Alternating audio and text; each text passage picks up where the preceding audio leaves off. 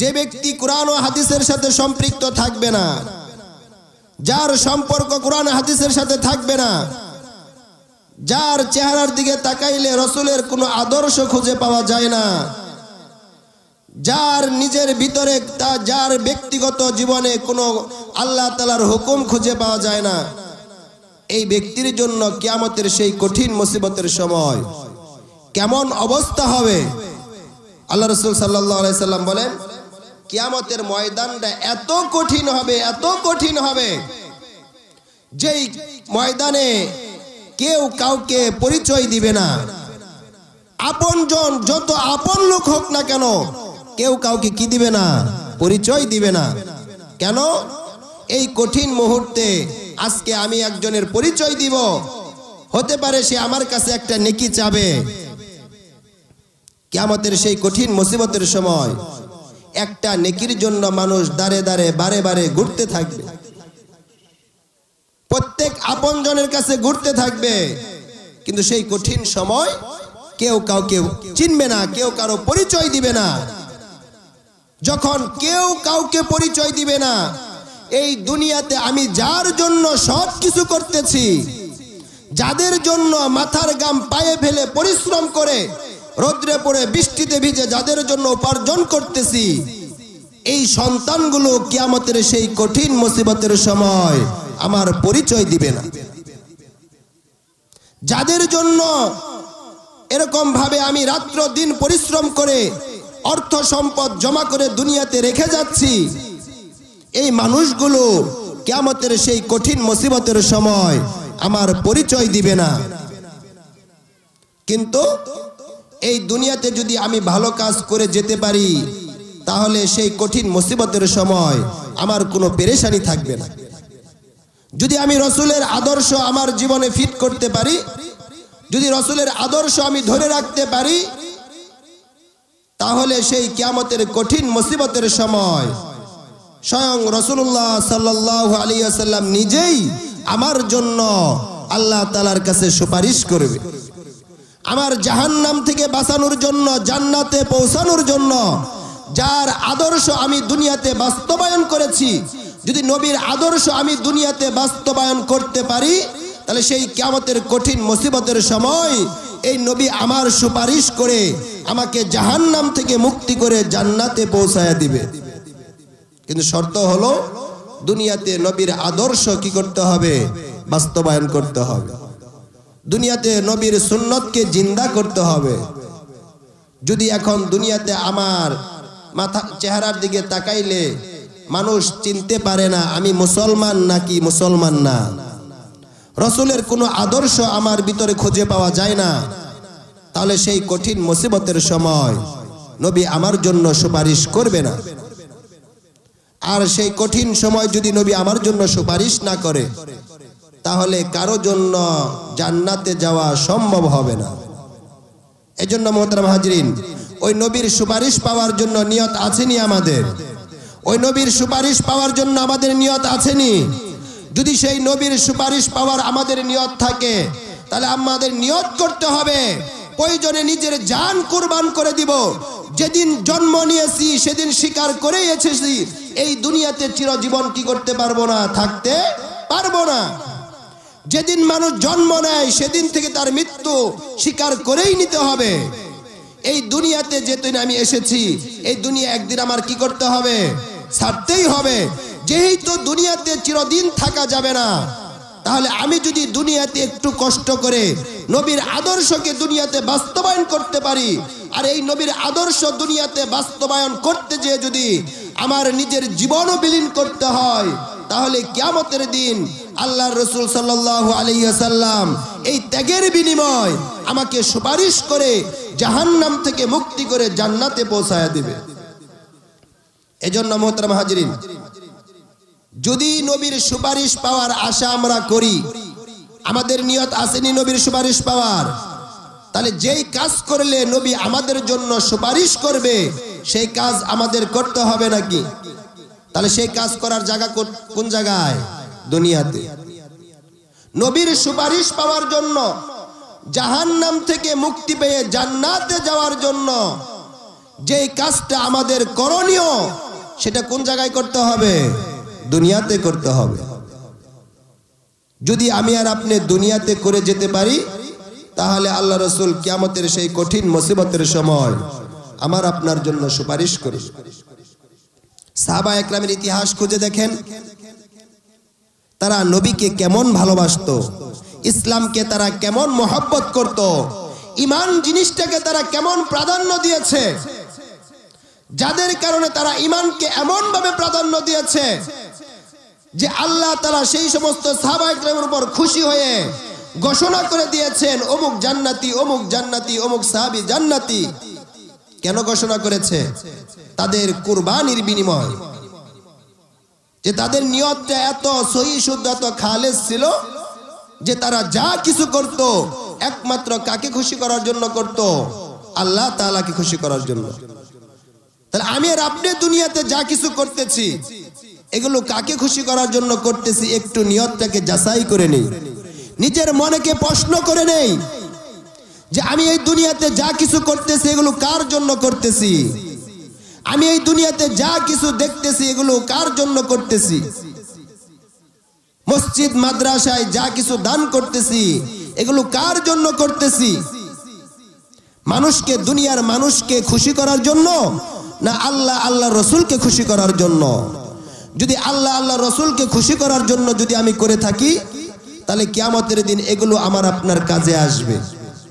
আর যদি আমি দুনিয়ার মানুষকে খুশি করার জন্য করে থাকি তাহলে দুনিয়াতে মানুষ আমার প্রতি খুশি হবে, কিন্তু আখিরাতের ময়দানে আমার জন্য কিছুই থাকবে না। আর যদি আমি কাকে খুশি করার জন্য করি, আল্লাহ আল্লাহ রসুলকে রাজি খুশি করার জন্য করি, তাহলে দুনিয়ার মানুষও আমার প্রতি খুশি হলো, আখিরাতের ময়দানেও আল্লাহ তালা এগুলোর বিনিময়ে আমাকে জান্নাত দান করে দিল। কিন্তু এগুলোর বিনিময় হলো কিসের মাধ্যমে? নিয়তের মাধ্যমে। কিসের মাধ্যমে? নিয়তের মাধ্যমে। এই জন্য মোহতারাম হাজরিন, আজকে যেই জমিনে আমি বসে আছি, এই জমিনের মালিক কে? আল্লাহ যে আসমানের নিচে বসে আছি আসমানের মালিক কে? আল্লাহ তাআলা। তাহলে আজকে যেই জমিনের উপর বসে আছি, এই জমিনও আল্লাহ তালার যে আসমানের নিচে আছি আসমানও আল্লাহ তালার যে সূর্যের আলো পাচ্ছি, এটাও আল্লাহ তালার যে চন্দ্রের আলো পাচ্ছি, এটাও কার? আল্লাহ তালার সমস্ত কিছু আল্লাহ তালার আল্লাহ তালার সব কিছু নিজে ভোগ করে, সেই আল্লাহ তালার নাফরমানি যে আমি আর আপনি করি, এটা আল্লাহ তালা বরদাস্ত করবে? বরদাস্ত করবে না। যদি আল্লাহ তালা আমার আপনার প্রতি অসন্তুষ্ট হয়ে যায়, তাহলে কিয়ামতের সেই কঠিন মুসিবতের সময় আমার আপনার কোনো রাস্তা আছে? কোনো রাস্তা খুঁজে পাওয়া যাবে দুনিয়াটা এমন একটা জিনিস, এই দুনিয়াতে যে থাকবে, দুনিয়া তাকে মহব্বত করবে। এই দুনিয়ার থেকে যখন চলে যাবে, এই দুনিয়া তার নাম গন্ধ দুনিয়াতে রাখবে না। একজন মানুষ দুনিয়াতে যখন থাকে, জীবিত থাকে, তার ধন, সম্পদ, টাকা, পয়সা, ক্ষমতার কোনো কিছুর অভাব নাই। কোটি কোটি টাকার মালিক সে দুনিয়াতে আছে। যতদিন সে দুনিয়াতে আছে, এতদিন এগুলো তার নামে লিপিবদ্ধ করা থাকে। কোটি কোটি টাকার মালিক সে ব্যাংকে টাকা জমা করে রেখেছে। যখন দুনিয়ার থেকে চলে গিয়েছে, এখন আর এগুলো তার নামে জমা থাকে? এগুলো আর তার নামে থাকে আরেকজনের নামে চলে যায়। কিসের পিছনে পড়ে? কিসের মায়া আর মহব্বত পড়ে? আমার সেই অনন্তকালের জিন্দিগি, সেই আখিরাতের কথা বলে দুনিয়ার পিছনে পড়ে, নিজের ইমান আমলকে নষ্ট করে দিচ্ছি। এই দুনিয়াটা এমন একটা জিনিস, এই দুনিয়াতে যত মানুষ আসছে, এই দুনিয়া কাউকে চিরদিনের জন্য রাখবে না। রাখবে? দুনিয়াতে চিরদিন থাকতে পারব আমরা? এবার দুনিয়াতে টাকার গরমে থাকা যাবে, ক্ষমতার বলে থাকা যাবে, ধন সম্পদের বলে থাকা যাবে। দুনিয়াতে যদি টাকা ধন সম্পদের বলে থাকা যাইতো, তাহলে কারুনের কি ধন সম্পদ কম ছিল? ক্ষমতা কম ছিল? আজকে আছে দুনিয়াতে? নাই দুনিয়াতে। এত দূর তালাশ করব কেন? আমরা আমাদের পূর্বপুরুষ যারা ছিল, এদের দিকে তাকাই। এদের দিকে তাকায় দেখি, আজকে যেই সমস্ত জিনিসগুলো আমরা ভোগ করতেছি, এগুলো তো আমাদের পূর্বপুরুষ রেখে যাওয়া সম্পদ। তাদের জিনিসগুলো আমরা ভোগ করতেছি না? একদিন আমাকেও এগুলো ছেড়ে চলে যেতে হবে। আজকে তারা রেখে গিয়েছে, আমরা ভোগ করতেছি। হিসাব করে দেখি, তারা যেই সমস্ত সম্পদগুলো রেখে গেছে, আমরা সেই সম্পদগুলো ভোগ করতেছি, তাদের রেখে যাওয়া সম্পদ আমরা খাচ্ছি, তাদের জন্য আমরা কতটুকু এখান থেকে খরচ করতেছি? তাদের রেখে যাওয়া সম্পদ থেকে তারা আজকে দুনিয়াতে নাই, দুনিয়া ছেড়ে চলে গিয়েছে। সব কিছু তারা দুনিয়াতে রেখে গিয়েছে। এই যে সব কিছু তারা দুনিয়াতে রেখে গেল, তাহলে তাদের সেই রেখে যাওয়া সম্পদ থেকে তাদের জন্য আমরা কতটুকু খরচ করতেছি?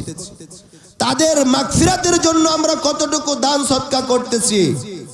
তারা যেই সম্পদ রেখে গেল, সেগুলো আমরা খাচ্ছি, তাদের জন্য কতটুকু ব্যয় করতেছি?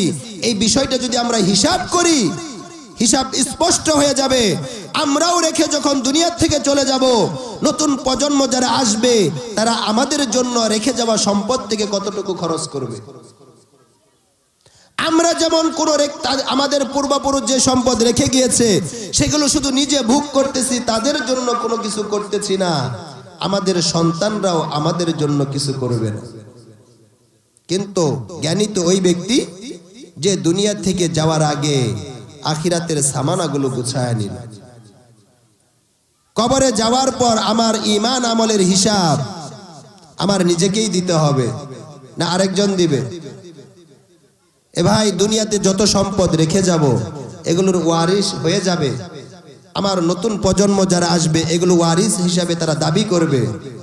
তারা আমার সম্পদ নিবে, আমার ধন সম্পদ নেওয়ার জন্য মারামারি করবে। আমার কবরে যাওয়ার পরে যদি আমার জাহান নামের ফয়সালা হয় আমার আজাব যদি শুরু হয়ে যায় সেই কঠিন মুসিবতের সময় যদি আমার সন্তানকে ডেকে বলি, সন্তানের কথা বাদ দিলাম। আমাদের পূর্বপুরুষ যে আমাদের জন্য সম্পদ রেখে গিয়েছে, সেই সম্পদগুলো আমরা ভোগ করতেছি। কিয়ামতের সেই কঠিন মুসিবতের সময় যদি তারা বলে যে দুনিয়াতে তোমাদের সুখ আর শান্তির জন্য অফুরন্ত ধন সম্পদ আমি কষ্ট করে রেখে আসছিলাম সেগুলো তোমরা দুনিয়াতে ভোগ করছ, সেগুলো আমি কিছুই তোমাদের কাছে চাই নাই। আজকে এই কঠিন মুসিবতের সময়, সেই সম্পদের বিনিময় তোমরা আমাকে একটা নেকি দিয়ে সাহায্য করো। সেই একটা নেকির বিনিময় আমি জান্নাতে যাব, আর একটা নেকি যদি আমাকে দিয়ে দাও, তোমার আমল নামা কমে যাবে। কমে যাওয়ার কারণে তোমরা জাহান নামে যাইবা, আর একটা নেকি নিয়ে আমি জান্নাতে যাব। আমি আর আপনি দিব। এবার কোনো মানুষ দেওয়ার জন্য রাজি হবে? কেউ রাজি হবে। এজন্য মোহতারাম হাজরিন, নিজের ইমান আর আমলকে সহি শুদ্ধ করা, নিজের কবরের হিসাব দেওয়া, এটা কার দায়িত্ব? আমার নিজেরই দায়িত্ব। আরেকজন দিয়ে দিবে, কেউ আমার কবরে যাবে না, কেউ আমার সম্পদের হিসাব দিবে না, আমার আজাবের অংশীদার কেউ হবে না। আজকে দুনিয়াতে যে সমস্ত সম্পদের পাহাড় আমি গড়ে করে রেখে যাচ্ছি, আমি এগুলো হালাল পন্থায় উপার্জন করলাম না হারাম পন্থায় করেছি। হাসরের ময়দানে হিসাব নিবে আল্লাহ তালা আমার থেকে, না আরেকজনের কাছ থেকে নিবে? যার জন্য সব কিছু রেখে গেলাম, সেই কিয়ামতের কঠিন মুসিবতের সময়। এগুলোর হিসাব যার জন্য রেখে গেলাম উনি দিবে, কিন্তু এগুলোর হিসাব কাকে দিতে হবে? আমাকেই দিতে হবে। এজন্য মোহতরাম হাজরিন, আমি প্রত্যেককে অনুরোধ করে বলব যে দুনিয়াতে যতদিন বেঁচে থাকবে একটা নিয়ত করে নেই সবাই। প্রয়োজনে দিনে এক বেলা খাব, কিন্তু তারপরেও কোনো হারাম সম্পদ, কোনো হারাম খানা আমি বক্ষণ করব না। নিয়ত করতে পারি না ইনশাল্লাহ আল্লাহ রসুল সাল্লাহ সাল্লাম বলেন, যে ব্যক্তি দুনিয়াতে হারাম খানা খেয়ে নিজের শরীরটাকে লালিত পালিত করবে, কেয়ামতের দিন আল্লাহ তালা ওই মানুষটাকে জাহান নামের আগুনে নিক্ষেপ করবে। এজন্য মোহতারাম হাজরিন, যারা দিনে তিন বেলা খায়, যারা এক বেলা খায় যারা দিনে তিন বেলা খাচ্ছে, তাদের দুনিয়া ছাড়তে হবে না। আর যারা দিনে এক বেলা খায়, এদেরকেও তো দুনিয়া ছাড়তে হবে। কিন্তু সবচেয়ে জ্ঞানী তো ওই ব্যক্তি, যে ব্যক্তি দুনিয়াতে কষ্ট করে গেল, কিন্তু তার ইমানকে সহি শুদ্ধ করে মজবুত করে গেল। দুনিয়ার অল্প সময়ের জন্য কষ্ট করল, অফরন্ত সময়ের জন্য সে আরাম আর আয়েসের জন্য দুনিয়ার অল্প সময়ের কষ্ট ত্যাগ করল। অল্প সময়ের কষ্ট স্বীকার করে নিল সেই পরকালের জিন্দিগির সুখ আর শান্তির জন্য। আমরা নিয়ত করতে পারি না ইনশাল্লাহ এবার দুনিয়াতে যারা আমরা দেখি না, ঘর বাড়ি ভেঙে যারা বিল্ডিং বানায়, টিনের ঘর ভেঙে, এই অল্প এক মাস, দুই মাস তারা কাগজ টানিয়ে থাকে। বলে, এই অল্প সময় যদি একটু কষ্ট করি, তাহলে আমার বিল্ডিং এর কাজটা শেষ হয়ে গেলে আমি এরকম যতদিন দুনিয়াতে থাকব, সুখ আর শান্তিতে থাকতে পারব। এরকম নিয়ত করে না। এরকম আমরা দেখি না যে ঘর বাড়ির কাজ যখন শুরু করে, তখন তারা যে কোনো ভাবে কষ্ট করে থাকে যে অল্প সময় আমার ঘরের কাজটা শেষ হয়ে গেলেই তো আমি আরামে থাকতে পারব। তাহলে জ্ঞানী তো ওই ব্যক্তি যে এই দুনিয়ায় অল্প সময়ের দুনিয়া কষ্ট করে চলবে সেই আখিরাতের জিন্দিগি, অফরন্ত জিন্দিগি আসতেছে, যার শুরু আছে, শেষ নাই। এই অল্প সময় যদি কষ্ট করে নিজের ইমানটাকে সহিশুদ্ধ করে যেতে পারি তাহলে সেই অফরন্ত সময় যে আমার আপনার সামনে রয়েছে, যার শুরু আছে শেষ নাই, সেই জগতে আমি সুখ আর শান্তিতে থাকতে পারব। এজন্য মোহতারাম হাজরিন, ওই সময়ে যেন আমি হাসরের ময়দানে সুখ আর শান্তিতে থাকতে পারি, এজন্য আমার করণীয় হলো যে দুনিয়াতে যত কষ্টই হোক না কেন আমার ইমানকে আমি বিক্রি করব না। আমার যত কিছুর বিনিময় হোক না কেন দুনিয়ার সমস্ত জিনিস আমি ত্যাগ করতে প্রস্তুত। কিন্তু আমার ইমানকে বিক্রি করতে কি নয়? প্রস্তুত নয়। আমি ব্যক্তিগত স্বার্থের কারণে আমার ইমানকে কি করতে পারব না, নষ্ট করতে পারব না। এটাই হলো একজন মুসলমানের প্রকৃত পক্ষে মুসলমানের পরিচয়। এজন্য মোহতারাম হাজিরিন, আমরা প্রত্যেকেই নিয়ত করে নেই, যতদিন দুনিয়াতে বেঁচে থাকব, রসুলের আদর্শ নিয়ে বেঁচে থাকব তো ইনশাআল্লাহ। আল্লাহ তালা আমাদের সবাইকে যতদিন দুনিয়াতে বাঁচিয়ে রাখে, রসুলের আদর্শ, আল্লাহ তালার হুকুম মেনে, রসুলের আদর্শ মেনে যেন দুনিয়াতে চলতে পারি এবং ইমান নিয়ে যেন কবরে যেতে পারি, আল্লাহ তালা আমাদের সবাইকে তৌফিক দান করুন।